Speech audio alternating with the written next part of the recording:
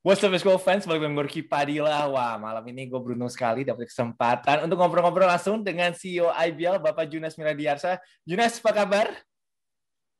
Baik, Alhamdulillah. Apa kabar juga, bro? Baik juga. Ini masih muka bantal, gue baru bangun jujur ya. Tapi yang pasti uh, hari ini kita akan menjawab pertanyaan-pertanyaan dari IBL fans. Tapi sebelum itu, of course, uh, ada pertanyaan juga beberapa dari gue. Yang pertama mau nanya dulu nih. Cerita dong, kalau dari Bapak CEO sendiri, pengalamannya tinggal di Bubble selama 34 hari gimana nih? Uh, deg-degan setiap hari, bro. Jujur aja. Kan, karena kan uh, nggak cuman manage pertandingannya aja. Kalau hmm. pertandingannya oke okay lah, jadwal gitu harusnya secara teknis uh, oke. Okay. Cuman kan yang menjadi pertaruhan kita benar nggak nih si sistem bubble ini hmm. bisa zero case gitu. Kalau enggak, apa yang terjadi harus postpone, postpone tiga hari, lima hari, atau kita benar-benar di shutdown. Nah itu kan dinamika yang uh, siapa pun yang nggak bisa nggak bisa jawab. Kenapa? Karena uh, kita menjaga 442 individu hmm. yang ya asal usulnya beda ya terus kemudian um, trackingnya kemarin ngapain kita nggak tahu ya meskipun ada sistem jadi itu yang menjadi perhatian utama sih selama bubble itu.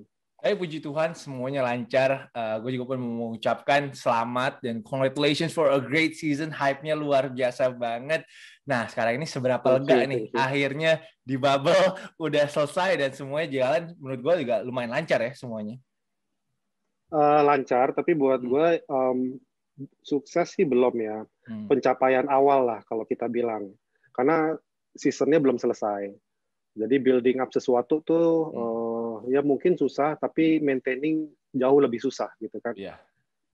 Euforia yang kita dapat nih di liga eh, kita harapin juga pemain apalagi nanti yang mau masuk ke playoff ini bukan euforia yang end of our journey kan justru ini baru permulaan jadi mempertahankan ini jauh lebih susah menurut okay. uh, menurut gua itu itu sih challenge sih apalagi sekarang kita lagi off break dulu ya terus nanti kita mulai lagi dari nol untuk uh, playoff jadi belum selesai sih bro. Oke, okay. ya tapi uh, tapi luar biasa sih menurut gue perjuangan dari IBL dan juga staff-staffnya official IBL untuk akhirnya bisa memberikan kita semua tontonan basket nasional kita udah kangen banget sih hampir mungkin udah satu tahun kali ya kita nggak nonton basket nasional main ini.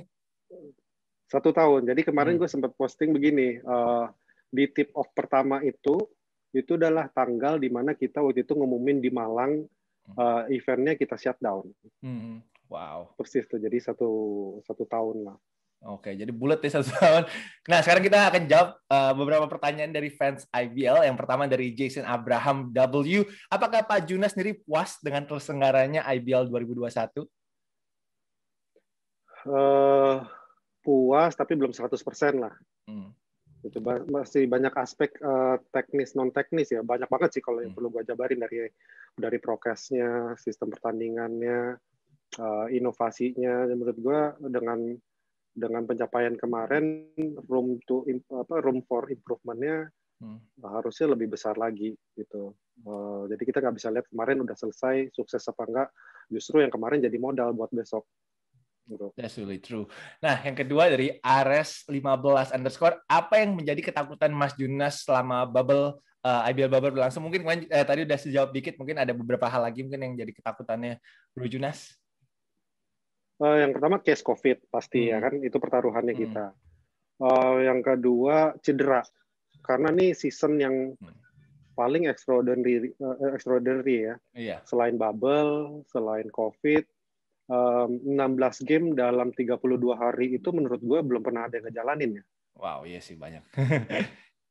ya kan, jadi ini belum pernah. Uh, jangankan kita sebagai pemain pun belum punya ada uh, experience seperti ini. Jadi kan itu yang gue bilang tadi, day by day-nya itu kita selalu hmm. apalagi nih besok ya, oh nggak ada apa-apa, lega gitu kan. Lusanya apalagi gitu kan.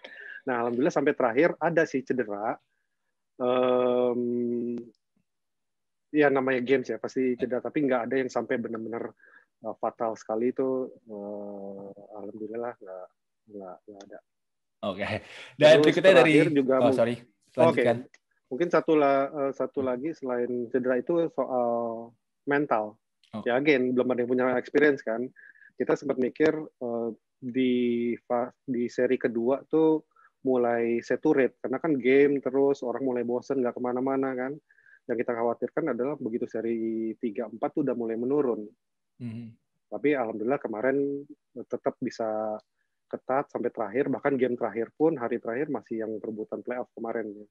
Oh iya itu seru banget sih sampai hari terakhir itu masih tegang banget sih apalagi gamenya Bali United juga wah itu sih gue juga nonton pun di sini yeah. sampai begadang demi nonton itu biar ketinggalan siapa yang akan lolos masuk ke IBL Playoff. Tapi kita ngomongin IBL Playoff nih dari Benedict uh, Simorangkir. IBL Playoff ada penonton nggak nih? Pasti orang pada penasaran banget pengen tahu nih nanti gimana untuk IBL Playoff. Uh, rencananya masih belum, bro. Karena kenapa? Kita kemarin tuh dapat izin dengan usulan kita yang pertama menyelenggarakan kegiatan tanpa penonton. Nah itu izinnya dari awal sampai akhir sampai final. Jadi itu yang kita pegang. Um, sempat ada berita kemarin um, dari Menpora ya hmm. kemungkinan soal ada penonton ya kita lihat aja nanti. Tapi dari liga sih dari IBL kita nggak mau berspekulasi dulu untuk oke okay, playoff pasti ada penonton. Hmm. Jadi kita ambil uh, amannya dulu aja bro. Oke, okay, yes.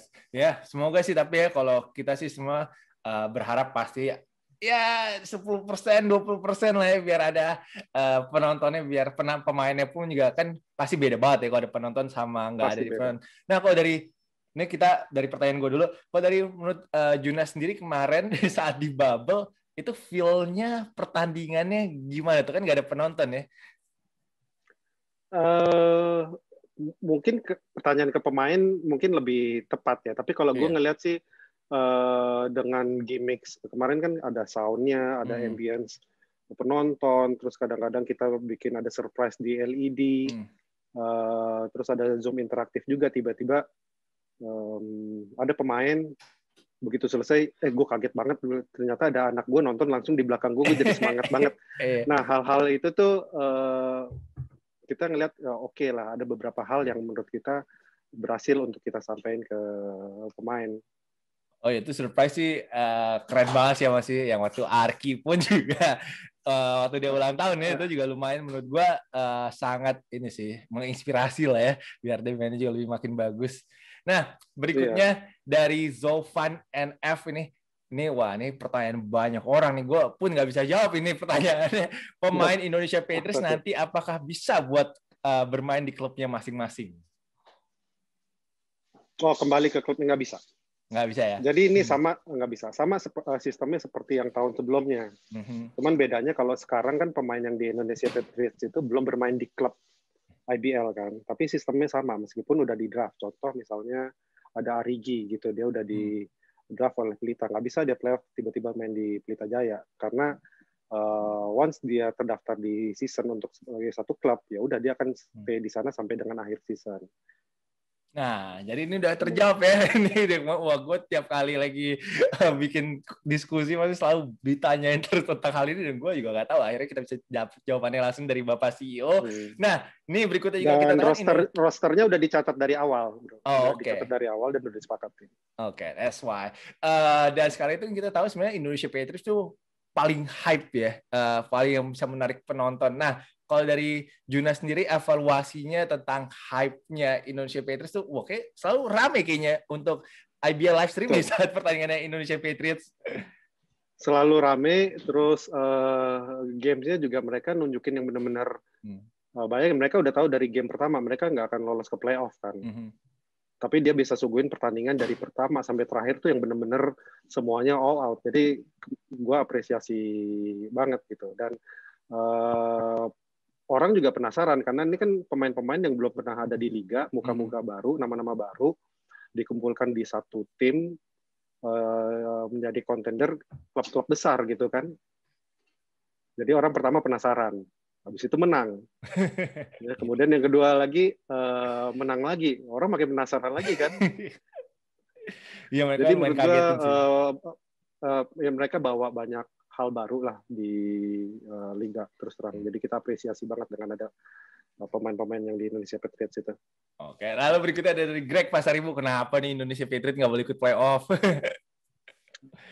nggak playoff um, sama seperti tahun lalu. Hmm. Uh, ide kenapa si Indonesia uh, Patriots itu join di liga uh, bukan untuk winning championship.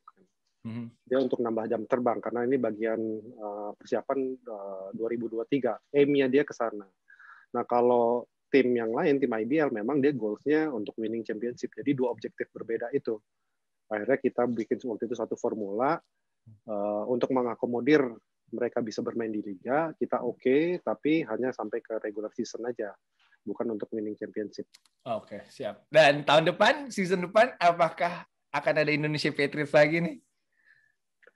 Kita juga nanya hal yang sama sih. Jadi belum dapat uh, ini 100% hmm. dari perbasinya seperti apa.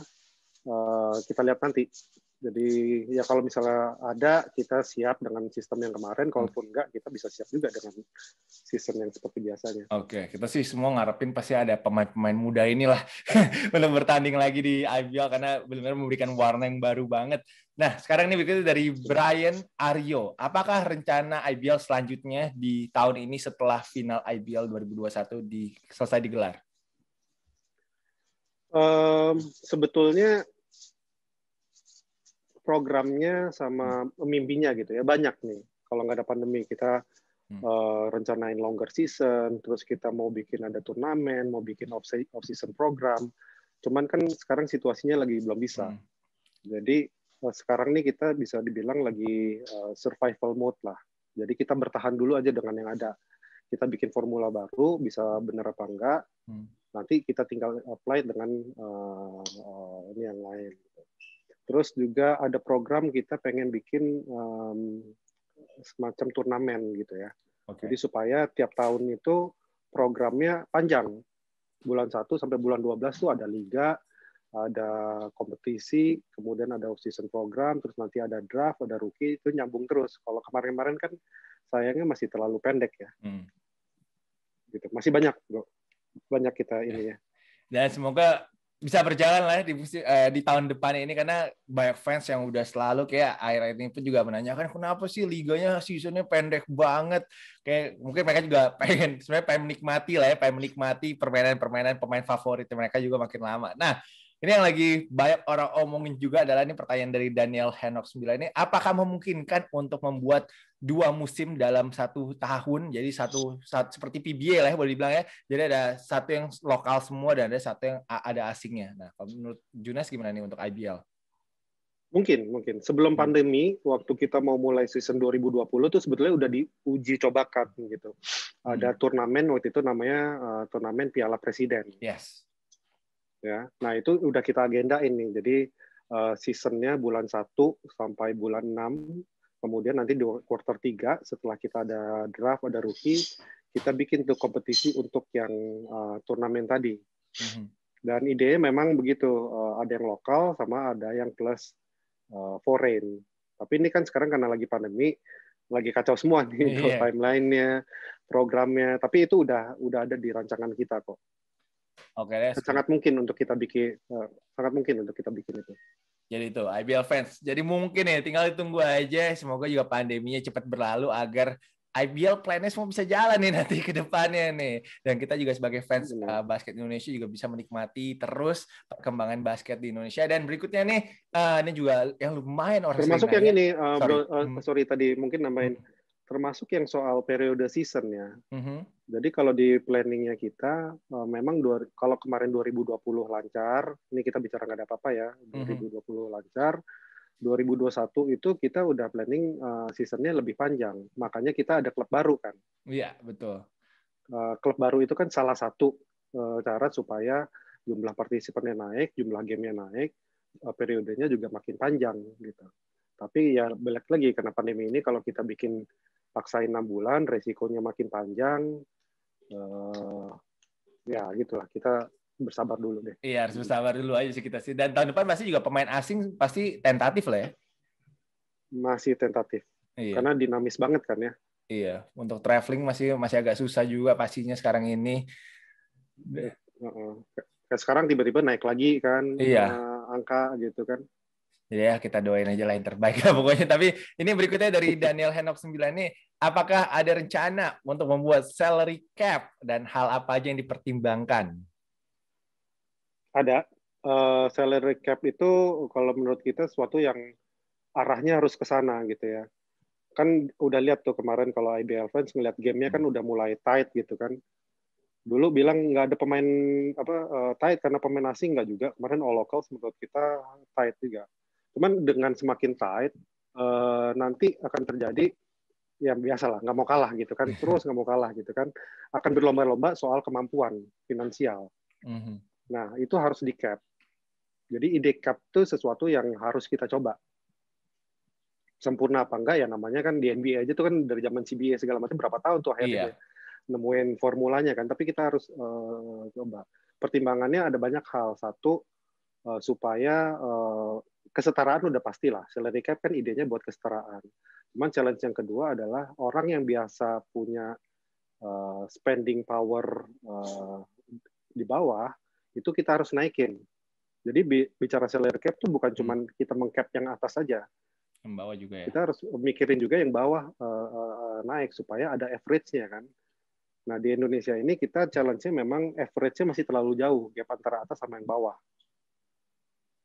Uh, it, happened dan itu yang memang harus kita cari jalan keluarnya. Mudah-mudahan lah uh, ya balik uh, tadi ya kalau ini pandemi kita udah bisa laluin, paling nggak format ini kita udah bisa jalanin sampai akhir. Kita balik lagi tuh ke pemikiran-pemikiran yang seperti uh, tadi udah uh, on list kok. Salary cap, kemudian competition, numbers of club, uh, turnamen, uh, asing gitu udah on list. Wah ini sih membuat gue semakin excited banget sih untuk future-nya Indonesian Basketball League karena dengan hal-hal ini menurut gue pasti akan membuat fans pun juga semakin tertarik sih dengan liganya apalagi kalau nanti bisa semakin kompetitif. Uh, betul, apalagi kan sekarang uh, dua tahun terakhir ada tiga klub baru ya, hmm. uh, ada Surabaya, ada Solo, ada lain-lain harapannya nanti juga kan kota itu makin banyak punya klub nggak cuma terpusat di beberapa di satu hmm. dua kota aja jadi lebih di spreading.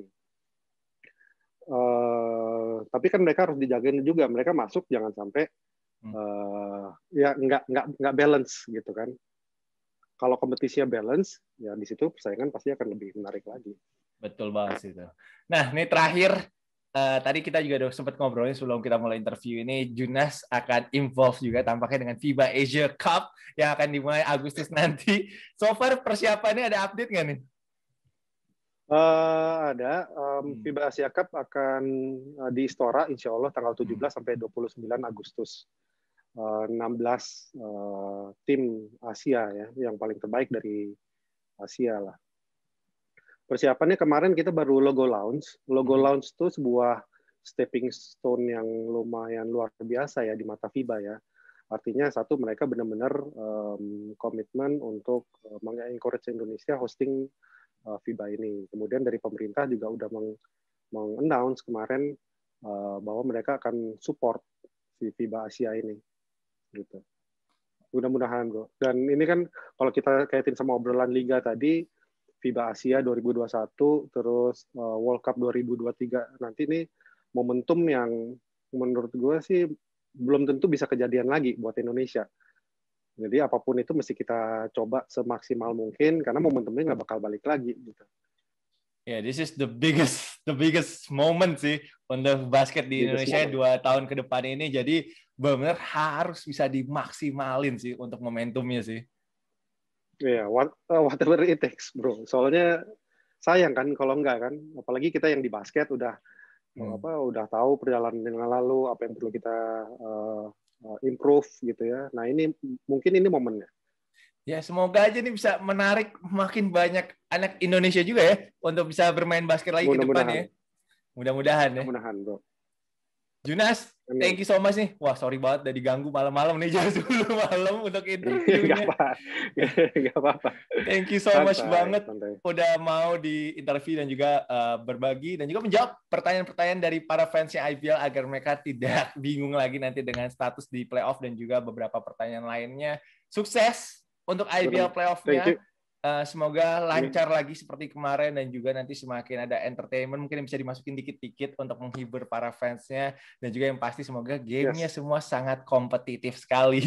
so sukses. Mudah-mudahan. And once again, gue juga mau bilang congratulations uh, untuk kemarin itu dan menurut gue IPL Bubble 2021 tuh udah sangat luar biasa sekali uh, efforts dan juga gue tahu karena waktu itu kita tahu gue udah ngobrol juga malu uh, dari kita bulan November ya udah mencoba terus tujuh hari tujuh hari sebelum itu waktu itu ya. Mm -hmm. Kita waktu itu ngobrol itu ya. Uh, uh, jadi benar-benar uh, apa ah gue salut banget ya pokoknya sama perjuangan kalian semua sama tim IBL juga akhirnya bisa menjalankan ini semua dan Indonesia basketnya mulai hidup lagi setelah pandemi jadi kita benar terima kasih yeah. banget kepada IBL dan juga tim IBL so Junas once again thank you so much for this interview. This is amazing. And sukses selalu. And bagi yang udah nonton thank you so much sudah nonton. Jangan lupa untuk komen dan juga semoga uh, pertanyaan-pertanyaan kalian semua sudah terjawab ya dari uh, Bapak Junas Miradiarsha. And thank you so much for watching and we'll see you guys next video. Peace out.